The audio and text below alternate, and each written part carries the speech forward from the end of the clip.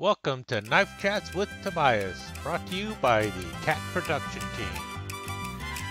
A couple of people have asked me about the way I display my knives in the uh, in well my display area, and uh, it's been called cutlery cavern and all sorts of other things in the past. We'll just go with display area for right now. Um, and if you notice, it's like a, a a framework basically made of two by twos and one by twos. Now the reason I did this is um, originally the way my knives were being displayed is they were on a piece of plywood. And uh, well what I had done is I had taken on my end frame? I hope so. I had taken my trusty knife made a little hole in the plywood. Yeah I actually all of these little cup hooks you see they were put in place using a uh, a demo knife.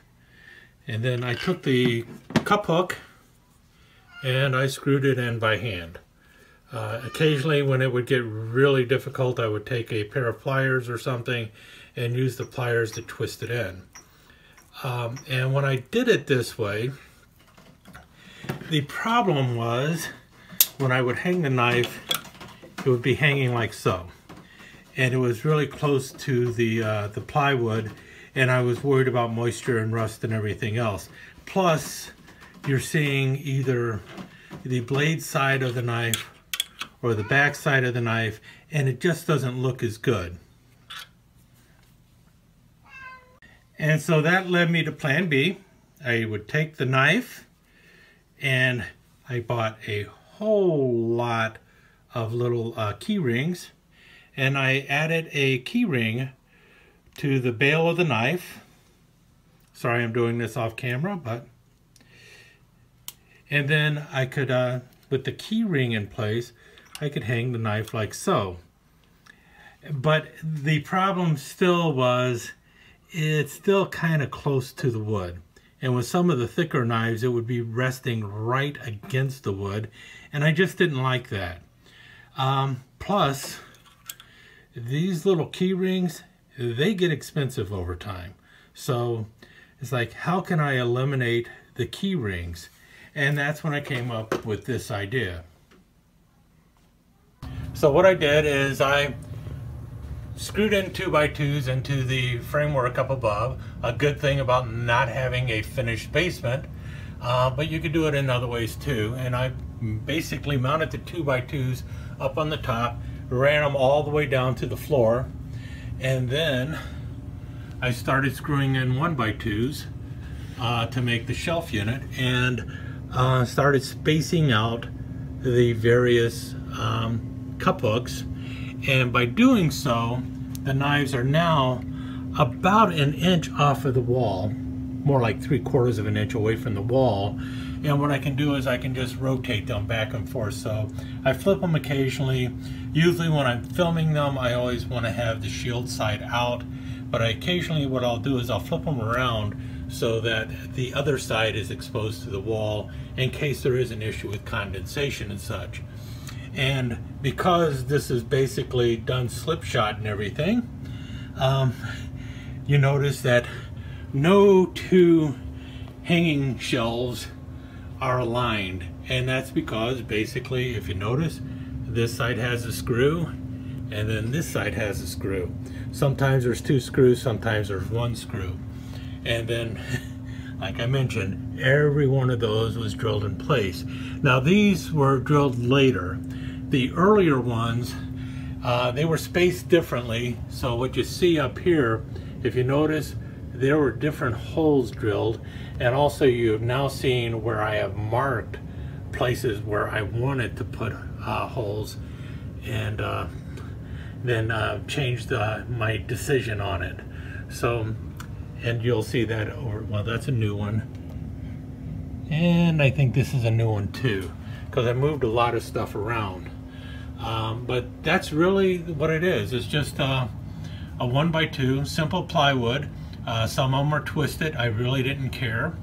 And then a two by two for going down. And many of these were twisted, but over time, because of uh, all the other boards that have been screwed into them, I've got them relatively straight. One other thing is if you notice, you see the shot glasses there. I did purposely leave space below some of the shelves so that I could display the shot glasses. But if you notice, they're held on by a piece of garden wire. So the wire here is what keeps the shot glasses from falling off the shelf. Um, this one needs to be tightened a little bit. You see this one is much tighter. And so that's how I can actually hang something or sit something on the bottom shelf.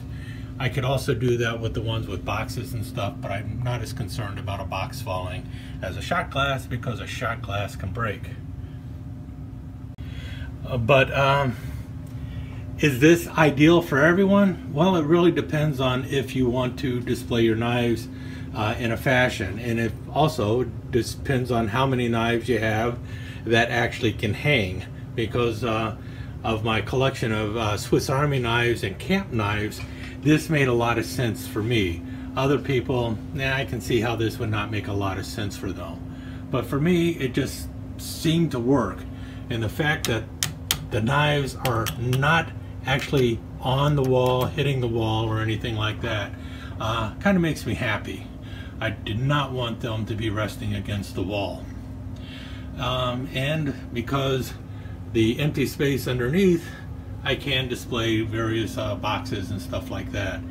And I do have room still to spare that I could actually put up another shelf if I run out of room. Uh, originally, all these screws, they were like three inches apart and then I have changed it to either an inch and a half apart or an inch apart depending on what kind of knife is being displayed. Uh, because when I first set all this up um, well I had about half the knives that I have now.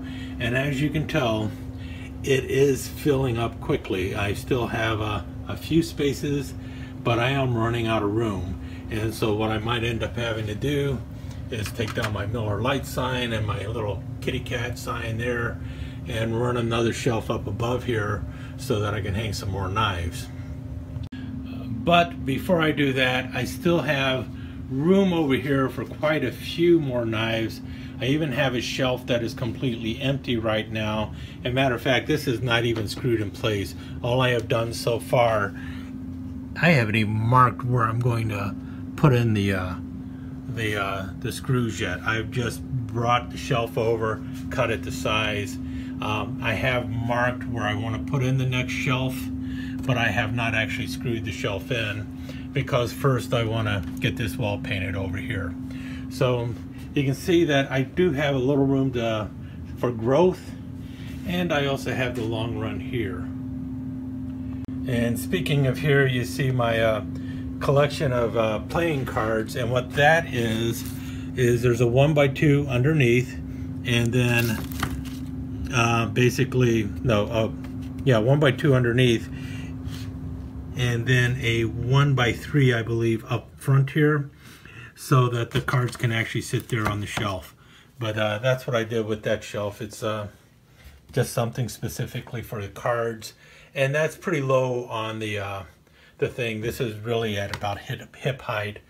Um, this shelf is right at chest height for me, and this one is right at the top of my head. So that's the way I've done that. And obviously, one of the reasons I did this uh, side over here was for my sticker board.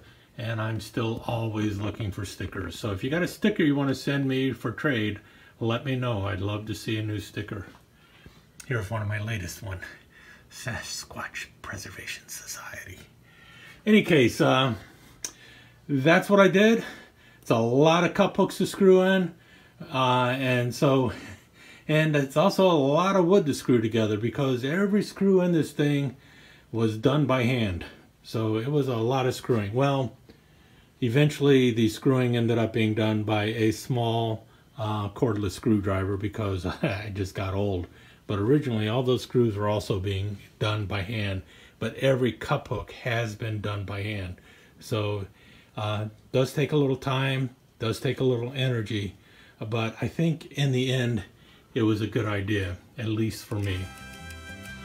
Thanks for dropping by Knife Chats with Tobias. Don't forget to give us that thumbs up, leave a comment below, and subscribe and ring that notification bell so you know when the next episode is up and online.